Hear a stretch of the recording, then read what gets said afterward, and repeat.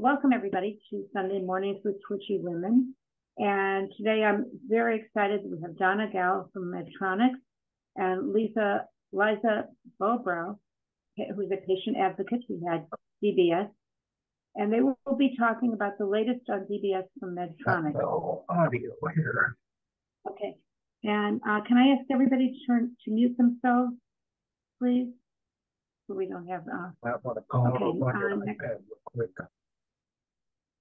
Okay. Ashlyn, do you want to just mute, mute them um, for me, please? Thank you. Okay, so uh, Donna is a senior DBS therapy specialist for Medtronic. Uh, she's in the San Francisco Bay Area. She's been with Medtronic for 15 years, supporting uh, neurosurgeons, movement disorder specialists, nurses, patients, caregivers, and support groups for DBS, for Parkinson's, uh, essential tremor, dystonia, epilep- epilepsy, OCD, and more. Uh, her role is to educate all, including physicians, nurses, uh, and patients and families before, during, and after DBS. Prior to that, she worked for another neurostimulator company for epilepsy and depression. She currently lives in San Francisco with her husband and 10 year old daughter.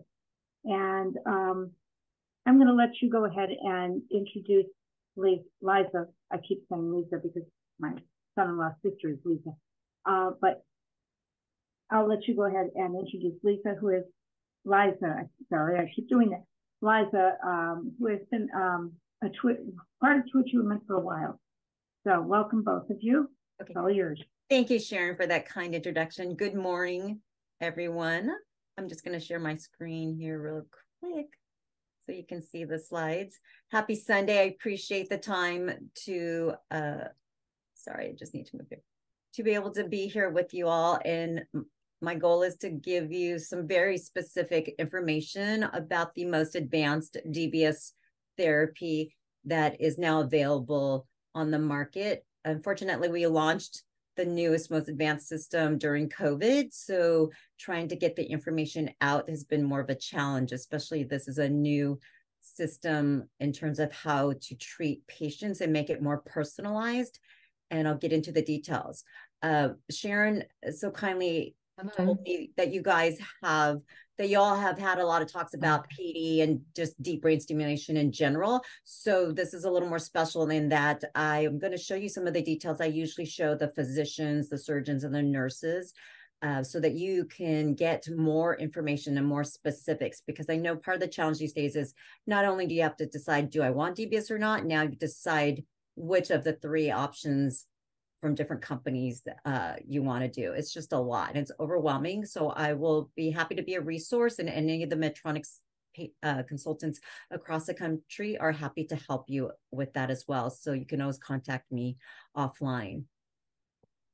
So before I get to the details of the actual implant and why we can claim to be the most advanced, I want to reference a few things about DBS so that you can see why Medtronic chose to advance the therapy in this direction. And it will probably become the buzzword, just give it a couple more years.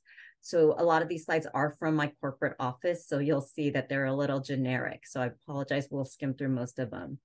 The um, agenda is in general not everything we're going to cover because most of you already understand what this is. But just as a point of reference, it's been almost 30 years since Medtronic first brought deep brain stimulation to market.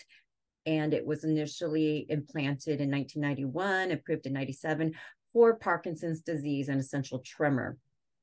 We've always based our advancements on evidence and clinical studies, as you can see, and we are worldwide, and we continue to do so. We will not make claims without having lots of evidence to back it up. In fact, I think Medtronic's even a little more on the conservative side compared to other companies, but we want people to trust in us and what we say and do. As you can see, there are five indications that Medtronic system is approved for.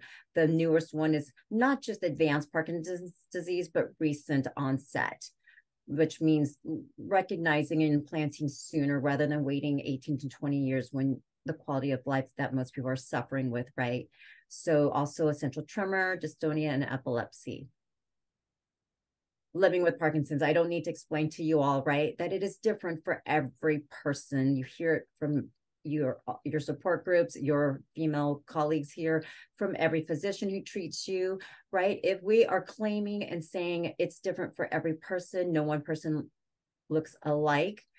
Physicians often say if you treat one person's with Parkinson's, you've treated one person with Parkinson's, right? Then we need the therapy to be more personalized and not just more personalized to be able to adapt to what you need in your day-to-day changes we do want to focus on, right? What does deep brain stimulation do? It looks at the movement disorder symptoms, the improvement of the tremor, but you don't need to have tremor to have DBS. Slowness or bradykinesia and stiffness are the main improvements, right? But tremor is also a home run. So it's either or. And really, what is the goal? The improvement of your quality of life. It doesn't matter what we do or how we do it. We just want you to have a better quality of life. That means being able to get dressed by yourself, being able to socialize, drink your glass of wine, go out to dinner, right? Or doing the hobbies that let you interact with your friends and family, like sewing or cooking. So we really want to focus on when should you be looking at DBS, right? When you're seeing your med doses increase and the effectiveness is decreasing.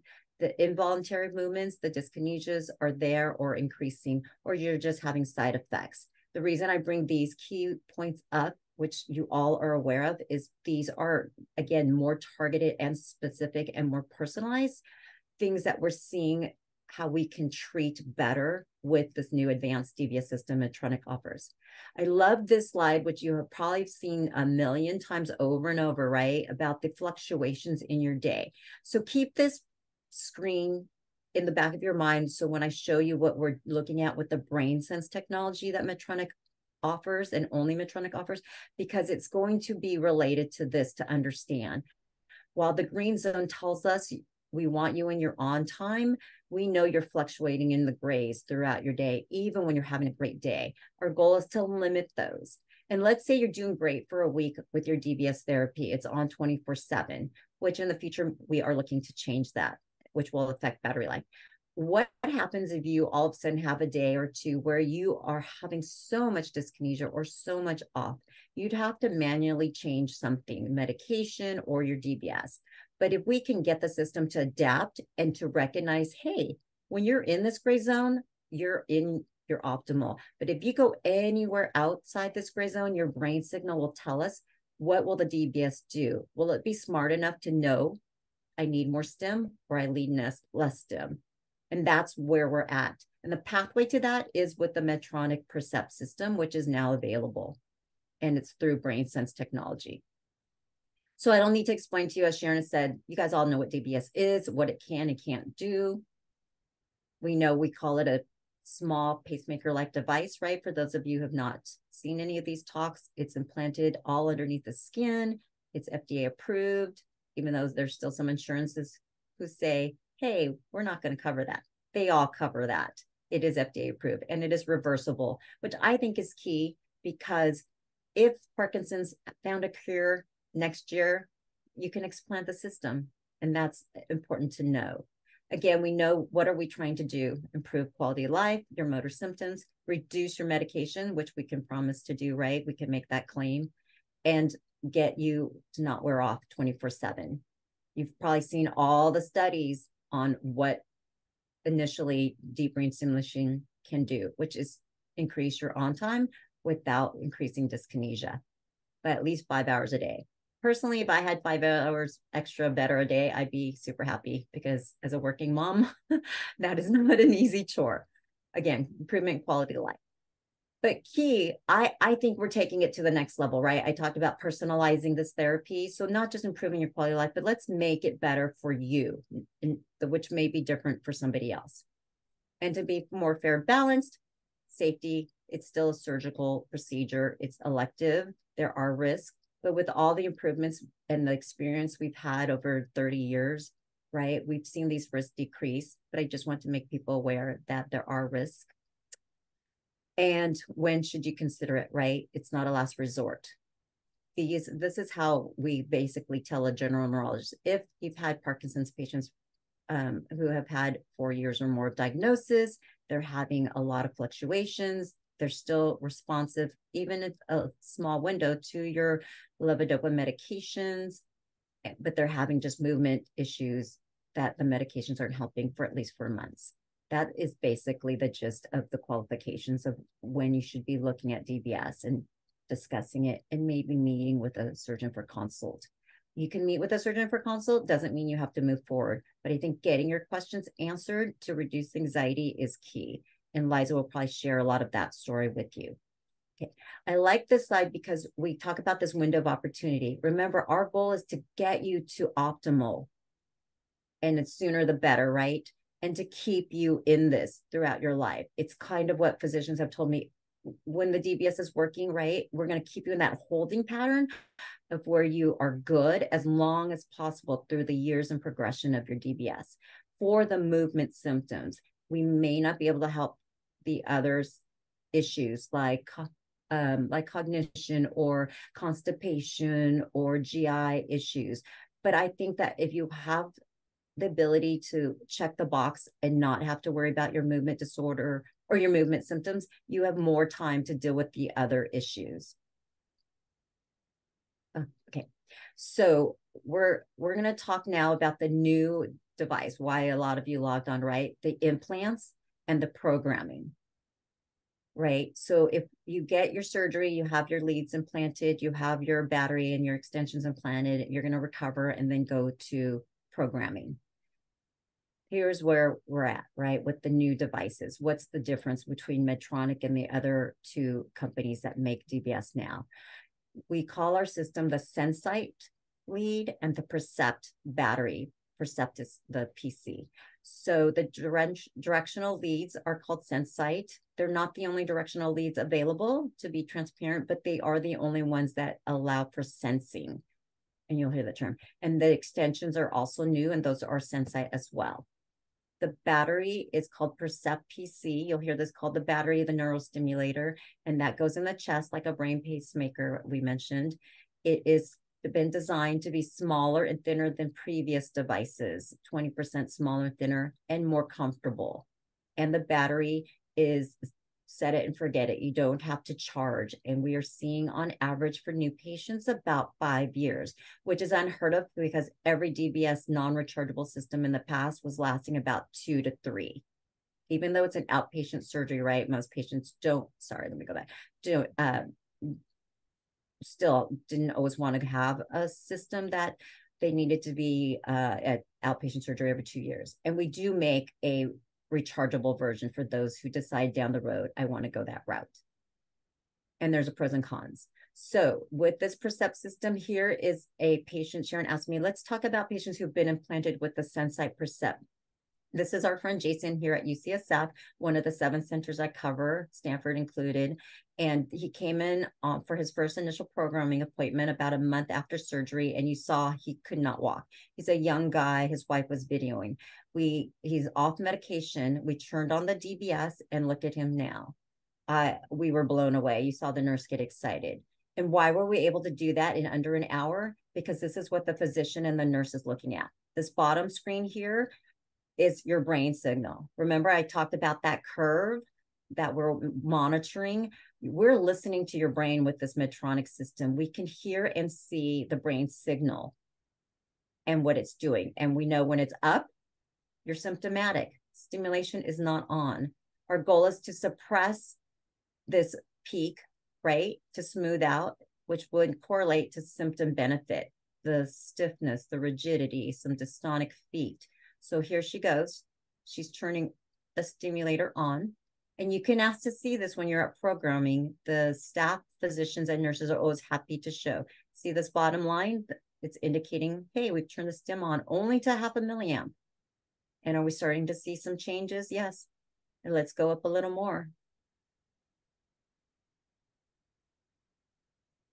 So just know in the brain, these oscillations or fluctuations are normal and expected. Every brain has it. But in for some reason in movement disorder and Parkinson's, it's more exaggerated, right? And see, now it's starting to suppress. So once we get that, you saw Jason start to walk. We wanted to stay on the lower end as possible. And she was able to do that. And so that tells us we are stimulating in the right part of the brain at the right stimulation. So again, in this cartoon video that the corporate office has given me, this is your brain signal. The peak on this bottom picture, lower left, is this patient having stiffness, rigidity. We turn on the stim, that peak starts to get suppressed, and now his symptoms are better. This is all done with the Percept BrainSense technology. So keyword is BrainSense, you'll hear. I mentioned earlier to some of you that we want to make the system smart, smarter, just like the smartphones have changed the world for us compared to when we all had flip phones or no cell phone, right? The DBS system by Medtronic is the only one with BrainSense technology to give you a smart DBS. And again, this is what you would see. One of the other things that it's not on the slide is in this Percept system that is being implanted now, whether you have new implant or you're an existing patient, like Tricia said, you can get this system. It is backwards compatible to take advantage of these features. Um, the software also in the system is upgradable. So the Medtronic believes in this advancing the system, this adaptive capability so much that they've already put it in the device. It has not been FDA approved yet. We are already working on the studies. They're ongoing right now. The physicians I speak with are so excited that they have seen in the blinded phases great response. It's working. So as soon as that's FDA approved, hopefully in the next few years, maybe even a year, year and a half, I don't know the time frame, then all it would take is if Liza goes to see her physician when they communicate in what we call interrogate the device with the programmer to program it, it will unlock the software and ta-da. So no surgery needed to get that feature. So that's why it's key now to to ask for what you want and why it makes sense to say, hey, I want that system now, because you're only going to have your surgery once. That's the goal, right? Barring infection that Trish mentioned. It is you know, choose the right leads. These are done, one and done. So it's really key to think that through in your decision making. Now the slides are changing to blue because these are the ones I showed the physician, right? We talked about these enhancements, these advancements that we've made to deep brain stimulation. It starts with a SenSight directional lead and goes to the Percept device. I'm going to show you what the lead looks like. So it's got the four contacts here in the silver um, for each lead. You have one on the left brain, one on the right. And as you can see from the slide, these are enhanced leads. They were designed and made from the ground up by Medtronic for DBS, for sensing, for this goal of adaptive stim. So other companies may want this technology in the future, but they outsource what they buy. Even that is true currently. Only Medtronic manufactures the battery and all the components in-house. That's why the quality is bar none because we are making what is needed. And it is very hard to read brain signals that are a million times smaller, right? But this is why we use proprietary material that we have purchased from NASA. So that's kind of a cool factor to be able to tell people, Liza, that you have NASA grade quality material in your deep brain stimulation in, um, implants. Um, and many people, you know, the buzzword for a long time was this segmentation or directionality, and that is a feature in there.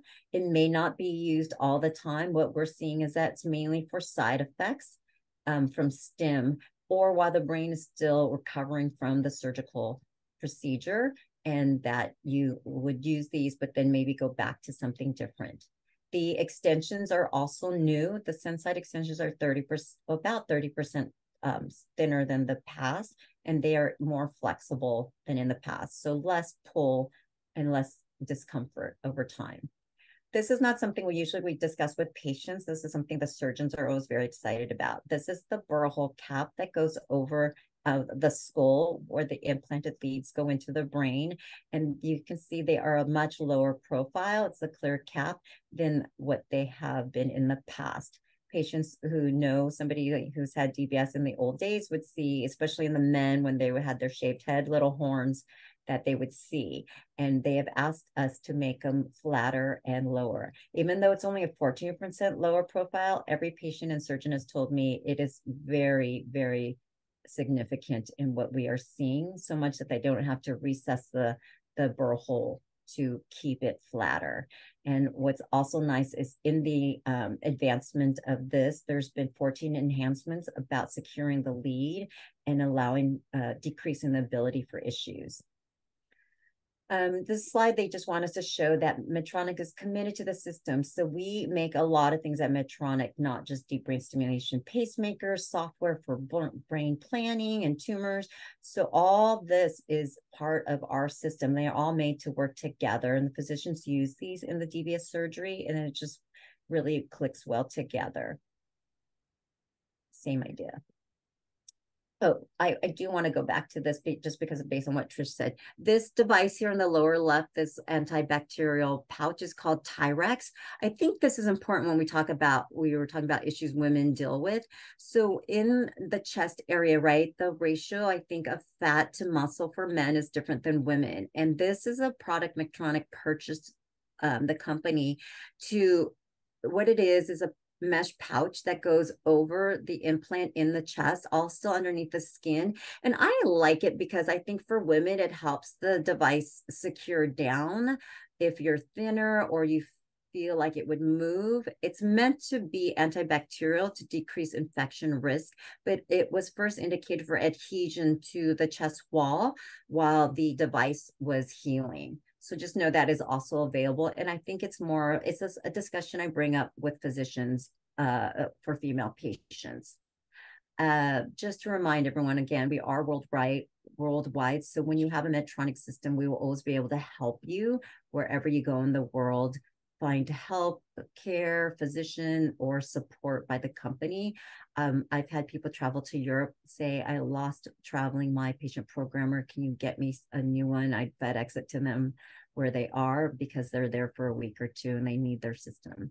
Just a reminder, we also do make a rechargeable system, but we won't get into that right now because I think you guys want to know about this new technology.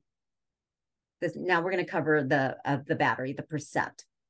So just like a computer, right? All the hardware and software for driving the technology is in this battery system. We call it the battery because it the battery is in there, but so is all the software that makes it able to have BrainSense technology and be this smarter battery.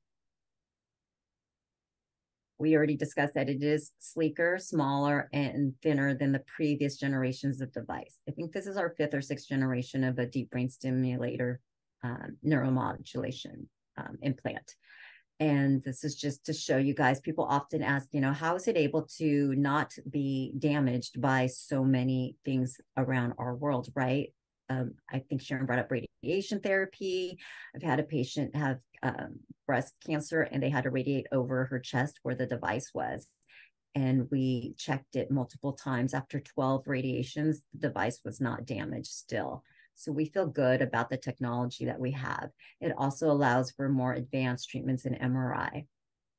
In terms of battery life, it is now, again, we mentioned longer than um, the older systems for the patient who has the average settings. Now, if you're on the extreme side, then, you know, it may not be that way. And that's when we would discuss the uh, rechargeable version that is coming out later this year. And again, I just showed you what is isolated in that system and that allows for the only 3T MRI conditional DBS. It's full body. So if you ever need an MRI or you you know, I've had physicians say this patient has a history of cancer and they're going to probably need MRIs in their future. We want the Medtronic system because it is easier and has more um, labeling that allows for better imaging. What does that mean? You know, a majority of patients will need MRI in their lifetime, and it can get very complicated. There are more 3T machines out there than the 1.5T. That's just the strength of the scanner. So getting an appointment will be easier. You can see the techs know what to do. They have more ability to get better imaging, which is the whole point of getting an MRI. In addition to that, Medtronic is not just the only system that's approved for 3T scanning. It is the only DBS system that allows you to be safely uh, on during a an MRI.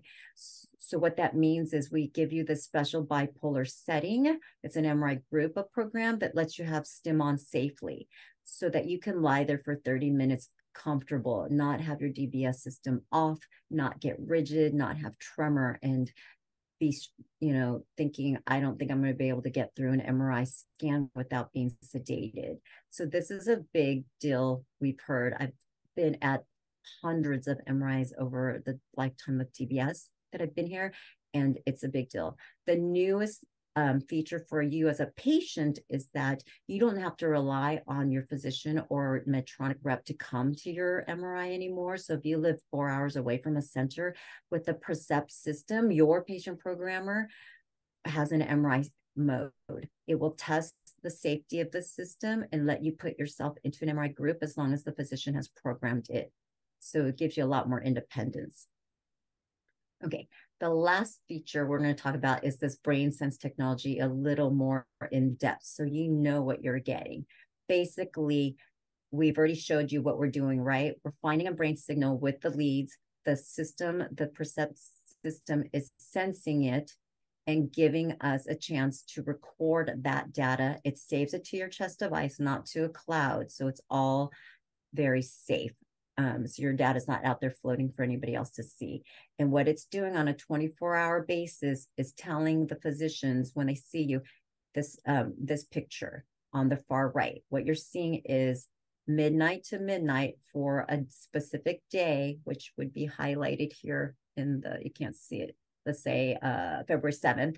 For February 7th, this patient did sleep decently, got up probably around five o'clock and you know, was having symptoms because the brain signal woke up. Maybe took their meds, yeah, which is indicated in the plus, and we saw the symptoms come down. Did it come down too much and make them dyskinetic? Potentially, because these bars here are representing where you're on an optimal without dyskinesia and without symptoms. High peaks means symptom, low peak means dyskinetic.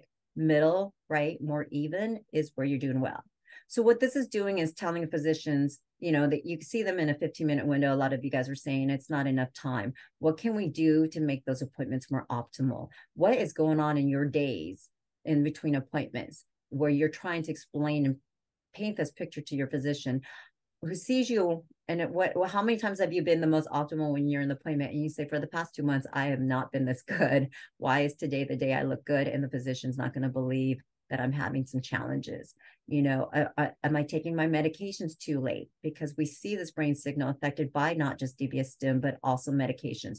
Um, um, am I not sleeping well? You know, is that why I'm having a lot of off time?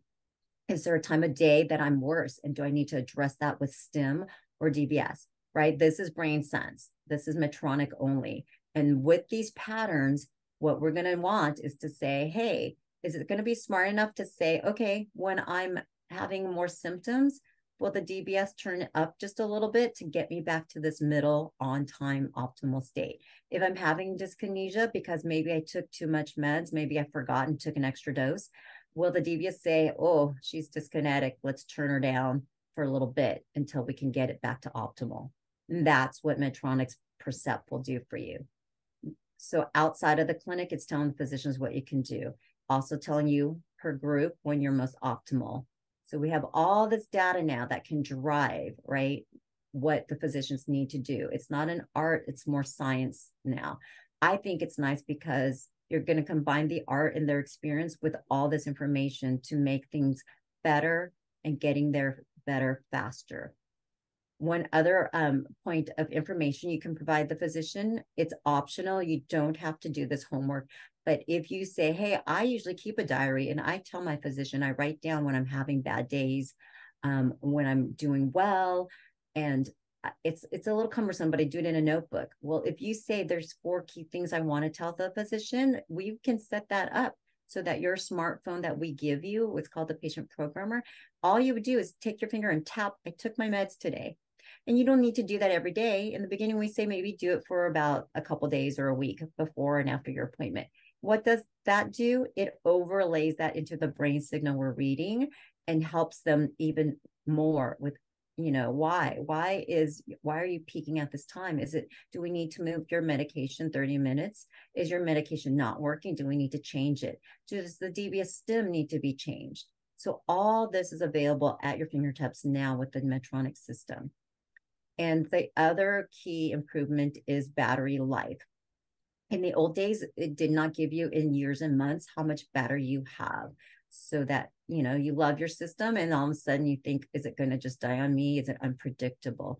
No, it is predictable. And you can see it every time you go see the doctor on the big tablet or or your nurse or on your handheld. You can check it. It says here more than two years, right? It gives you in your so you can plan your life. If you're going to go on vacation, the holidays are coming up, you can say, Hey, I want to schedule that battery change around what I have planned in my days. So I think that's the majority of what I wanted to cover. Um, this just kind of gives you an idea of why, why are we doing this, right?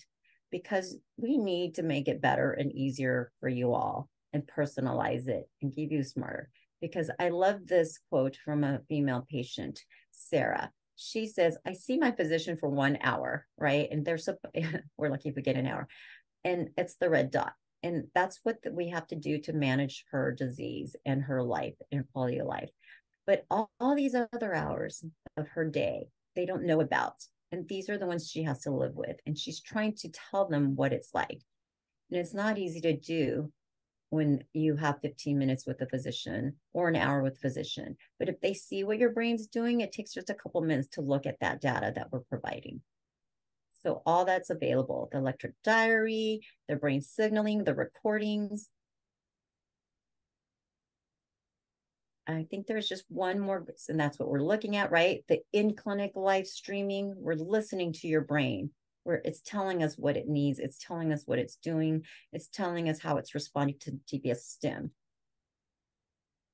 which in the end, right, is going to be time saving. This is the slide I told you guys.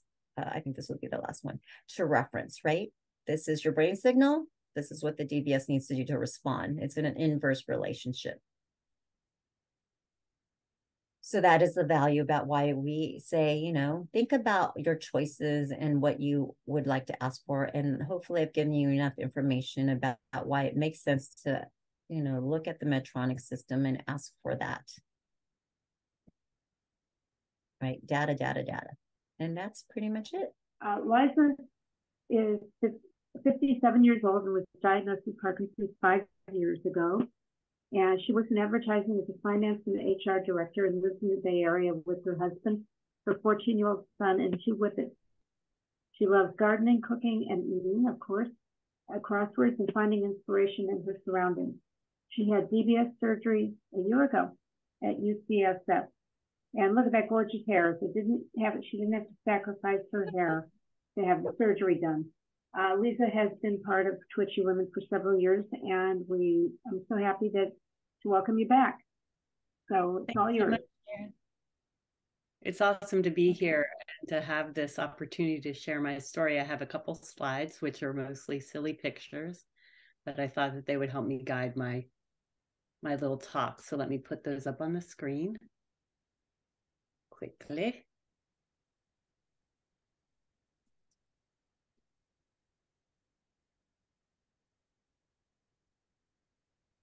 There you go. Okay. Okay, can you see those? Mm-hmm. Alrighty, so this is my DBS story. As mentioned in my little intro, thank you so much for that. I um, was diagnosed with Parkinson's five years ago. And, you know, I don't have to go into the details, but it was really, you know, I'd had some arthritis and some pain in my shoulder when I was younger but I started having difficulties with my handwriting, writing very small. And I was convinced that I had some sort of writer's cramp, like, oh, I must have a pinched nerve in my shoulder. And so I went to an orthopod to say, like, oh, this shoulder is really giving me some problem. Maybe I need a cortisone shot. And he had me do this, which I think is something we've all done for doctors before. And when I could not do it at the same rate as I could on my left hand, he said, You have to go see a neurologist. And I was floored. I couldn't believe it. And so, you know, that led me to my diagnosis. And um, just going to go to my next slide, although here we go. So, you know, I want to talk about how did we get to the decision to do DBS because, you know, this is even though it's a state of the art treatment and it's been available and approved for so many years, it's not something to consider lightly. So when I was first diagnosed in 2018, I kind of went, I actually got to my diagnosis relatively quickly. My neurologist at the time tried me on a couple medications which didn't work and then tried me on Sinemet. And amazingly, I had this really great response. And so that was sort of like surprise. All of a sudden, those symptoms that I had had started going away. And it was kind of like the neurologist I had at the time sort of acted like I had um, won the neurological lottery, like, oh, you have Parkinson's. That's not so bad. And I kind of believed it at the time. I said, well, I'm taking this medicine and it's a low dose and i'm actually able to do most things that i like to do i can garden i can dance i can write i can type i can work nobody knows about it and i think one of the things that i've heard and that i've experienced myself is those of us with parkinson's who can mask our symptoms get really good at masking our symptoms. Like we don't want anybody to know. It's private. I don't want to expose myself to everybody's feelings like oh this poor woman look what she's going for going through or people know you know an elder relative that's had this for some time and is in advanced stages and they just have this you know grim feeling about you. You know so i kind of wanted to downplay it i downplayed it to my friends to my family and even to myself you know i just would say oh i, I felt like i had a touch of the parkinson's you know no big deal but then you know what happened a couple years into my diagnosis all of a sudden things were not so great. I started having really painful dystonia in my right foot and my right arm. My foot started cramping, um, toes curling, and my foot started curling in or curving in. So even though I wanted to be walking on the flat of my foot, I was walking on the lateral side of my foot, which caused all sorts of pain in my ankle, my knee, my hip. And it was just excruciating. And at the time i had no idea that this was actually a side effect of the drugs which were the only thing that could help me but they were hindering me as well and i started having problems with my arm where i would reach for a shelf or something my arm would sort of lock out and it would just be stuck there and it would hurt and it would be stiff and i'd be like trying to pull it back into my body and i just couldn't and, um, you know, I determined that this was because of the peak dose dystonia that I would have when I was on medication. And then, meanwhile, my therapeutic window of when the medications were actually working became much narrower. And I wasn't having much on time. And so I would have, you know, basically my experience became when I was on meds, I was in pain. And when I was off meds, which became a longer and longer time, I couldn't do anything manual dexterity became super compromised. I felt like I had giant oven mitts on my hands, like anything, flossing my teeth, stirring a pot, folding a t shirt, just like the most simple things, washing a dish, just like manual tasks. I would tell people, I'm not trying to run a marathon here. I'm just trying to like shampoo my hair, you know? And I just felt like I had these giant mitts on my hands and so then I started, you know, by that time I had a new neurologist who is a movement disorder specialist. And I can't tell you what a difference that made to have somebody who was a specialist, understood Parkinson's, could explain to me, you're having dystonia because of the medication. Let's try some different medications to see if we can smooth out these off periods for you. So we tried a few things. And I was convinced, well, why can't I just get back to where I was? I was fine like just let's rewind let's go back to where i was a couple years ago when i felt great and i could do anything i could snap my fingers i could go to dance class i could do all this stuff and so we tried Rytary. We tried the Neupro patch, which is transdermal patch, just sort of smooth things out. And we tried amantadine, which can sometimes help patients with dystonia. None of those things made a difference. And in some cases, like with amantadine, I had some really bad side effects like wakefulness. I couldn't sleep. It was terrible. And so that became really frustrating. And I felt so depressed. Like, why can't I have this? And I felt like I started feeling like, gosh, if I feel bad now, just imagine how bad I'm going to feel, you know, five years from now. And so my my neurologist, who actually had been a fellow at the UCSF Movement Disorder Clinic some years ago, she actually started suggesting DBS to me. And I thought, are you kidding me? You know, surgery, I've never had any surgery.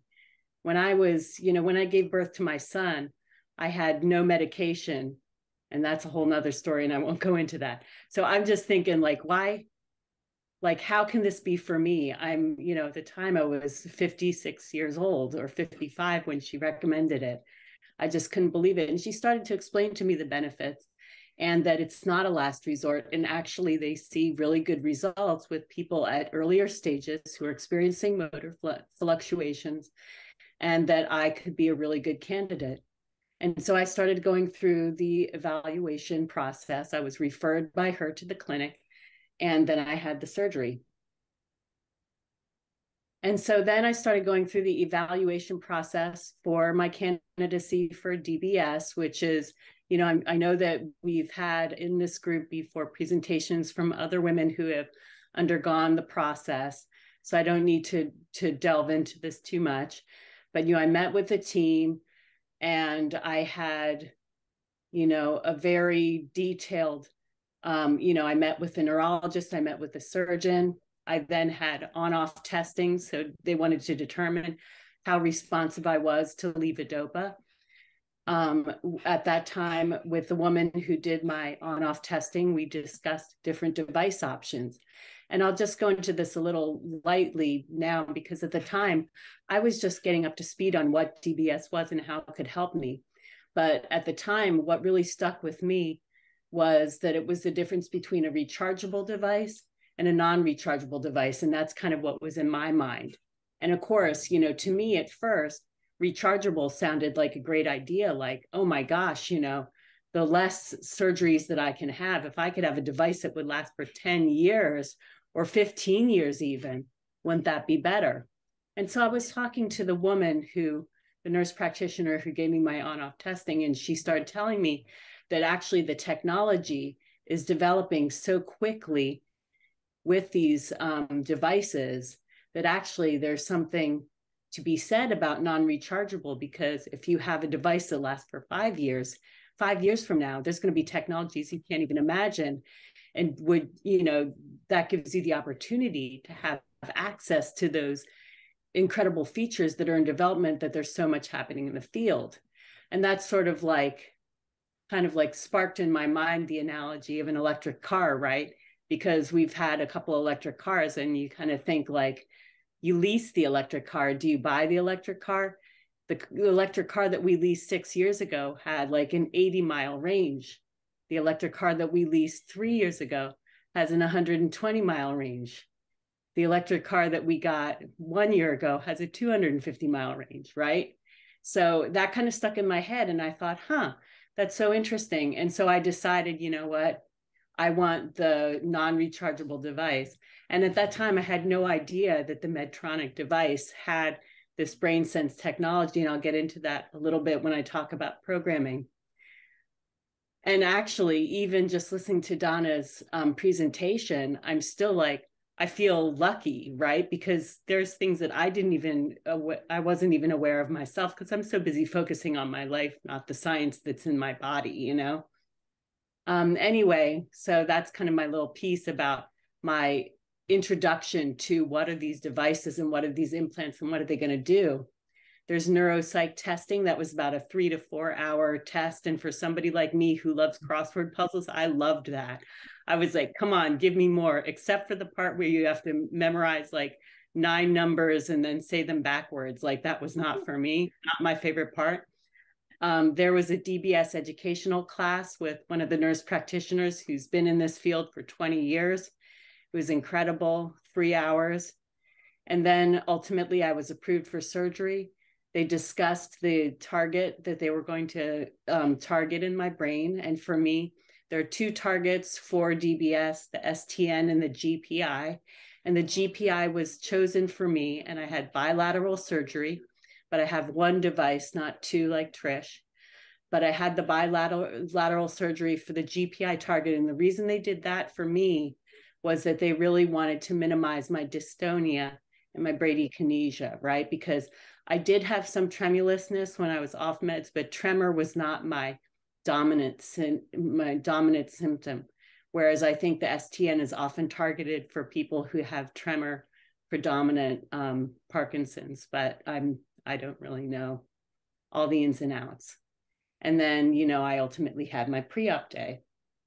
And so this was my big day. This is a beautiful picture of me that I really don't share with many people. So you're welcome. That's my gift to you.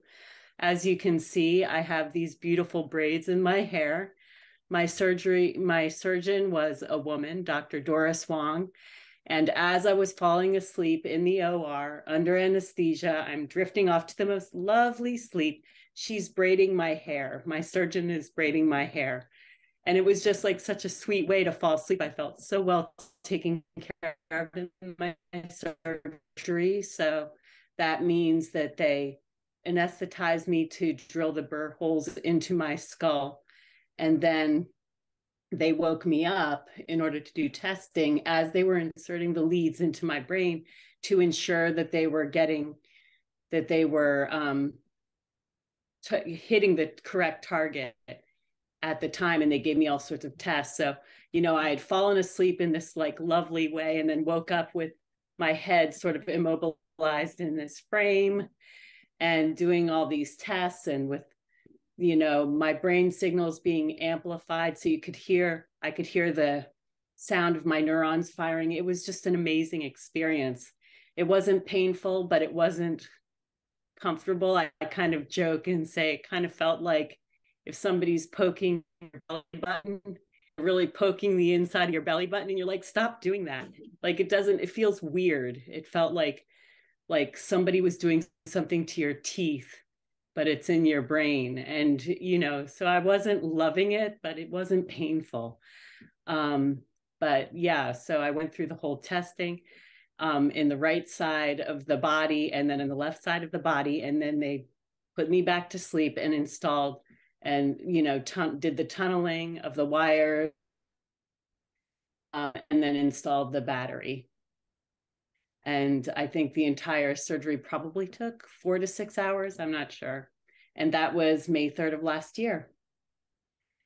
So some people have asked about recovery, and this is me at home a couple days after surgery. And you see the picture on the left is me. I've been reunited with my beloved mascara at last.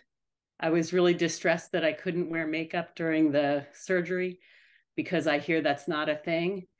Um, I'm also um, showing a picture of the bandage. So, you know, this is the area that they had to shave. And there was also a little spot on the side of my head that was mostly hidden. And, you know, this may seem cruel, but apparently your dog is not allowed to lick you when you're recovering from surgery. That whole thing about dogs having clean mouths, apparently that could be a factor in infection. And so that is something that I had to avoid um, much to their chagrin. So that was something to work on. But when it came to recovery, like as I mentioned, I think earlier, my pain was not that great. I did have some headache, but it could be managed by um, Tylenol alone. They gave me oxycodone, but I really didn't need it. Um, the worst headache that I had on a scale of one to 10 was probably about a six, I would say, and it diminished pretty quickly.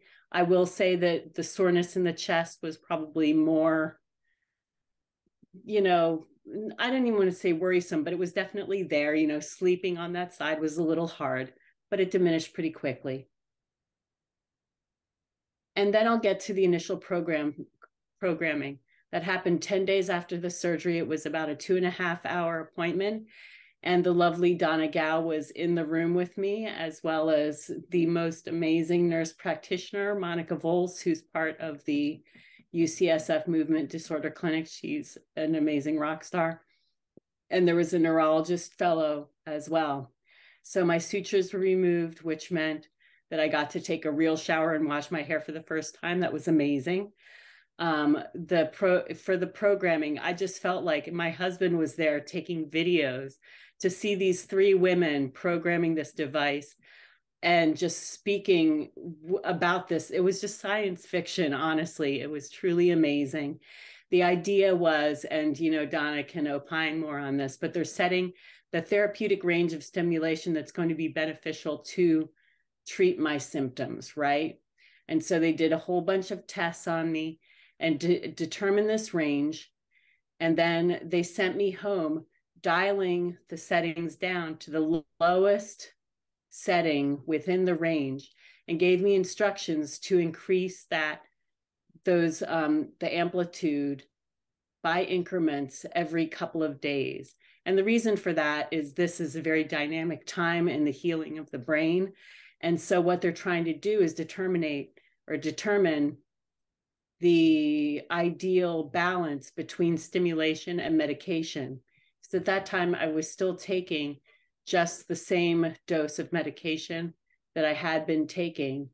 And they really wanted to see how the two of those things would interact. And so you want to keep one of the factors, which is the medication, sort of consistent while the stimulation is amped up over the over the days. And so this is about my last slide. I think what I want to say, because I know we're running out of time here, is that, you know, the communication for the programming, it's an ongoing process, right? So I didn't have like a night and day, like flip the switch and my symptoms were all gone. That did not happen for me. It's a gradual process. And the neurologist I work with, my movement disorder specialist neurologist, she says with a GPI, the process can take longer to sort of set in and get right. And so I went in and you know, a lot of my friends and family, they're like, oh, they're going to flip the switch and it's going to be amazing. You're going to be like, so, you know, it's going to be night and day for you. And it really, I didn't have that expectation. I knew this is for me where the art meets the science with the variability in Parkinson's sim- symptoms and all of the potential and the variations that are possible for the programming of this device. It's very complex as a treatment. And so I'm aware of that. And, you know, I will just say, like, as I went through the process of going and incrementally increasing the range uh, or the amplitude as I was first recovering, I got to a point where, huh, I thought I would get more out of this. It was a couple months after my surgery and things weren't really happening. So I talked to the team and said, hey, what's going on? I'm not sure you know what to expect here. Maybe you can help me out. And they kind of looked at me. I talked to monica. I talked to a neurologist at ucsf they said you know you really should be getting more out of it. I went back into the clinic for another programming session in july and monica get, ran a bunch of different tests on me and, and interrogated my device. And she made this particular change. And you know what it was which she changed the location on the lead where this where the signal was emitting from to push it farther down on the lead instead of closer up to the top of the lead. And that was like a switch was flipped. All of a sudden my dystonia went away my motor function improved vastly and i couldn't believe it because that's the thing about the dbs stuff is that when a change is made and it's beneficial, within five minutes, you feel the difference. But that being said, you know, our bodies are always changing with PD. It's not a static disease. It's not like you just get to a good place and then you stick there, you know. That's not how it works. And so, you know, I can't stress as much or I can't stress enough how important communication and self advocacy are because, you know, the teams, the medical teams, they have hundreds of patients that are going through the same thing. And we're and we're the ones that have to say reach out and say hey i'm noticing this i feel this way what can be done be the squeaky wheel because that's what they need and they are there to help and I feel that I'm going into the clinic this coming week to see if I can be optimized further because I want to take as much advantage as possible with this amazing technology that I have in my body. And so, you know, it is to be continued because we all carry on. This is a picture of me in the midst of a four mile hike with my husband on my birthday a couple weeks ago when I turned 57 and um, just enjoying life and continue living and doing my best. And I think that takes me to my end of my slides. So thanks very much for listening. Okay, so virtual tiaras, ladies, to both of you. Thank you, thank you, thank you. I wish I could give you one in person, but you're 500 miles away or whatever, so it won't work. Um, so thank you. It was wonderful. Um, Parkinson's Awareness Month is not over. And I was fortunate this week to last week to be to be interviewed by Joy Cochran from Urban Poling. And if you haven't heard it, I'm on her podcast. And she they put in a lot of fun little uh, sound effects and things. It was just a, it was a blast. It was a lot of fun. So if you get a chance, listen to it. Um, next slide. T-shirts are back, and uh, the sale ends on Friday. So we have all of our usual shirts, but we also added this one for care partners, which says I'm with Twitchy. and then it's underneath the little thing just says twitchywoman.com. Uh, so if you are interested, um, we will, I'm not sure if this is the right link anymore, but anyway, we'll make sure the link will be in the chat.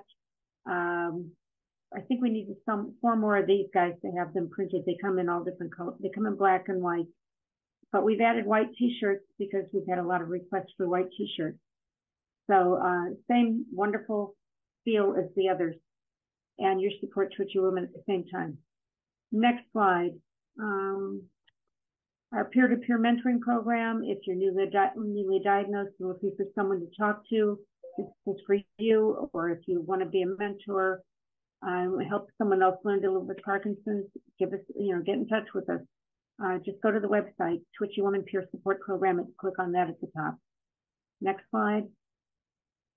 Um, if, if, you are going to the uh, World Parkinson's Congress and haven't told us, please let me know because we will have uh, goodies for you there. Um, and we have a private Facebook, Facebook group for those people who are going. I think we have 20 something women plus seven or eight care partners going as part of our group, which is fabulous.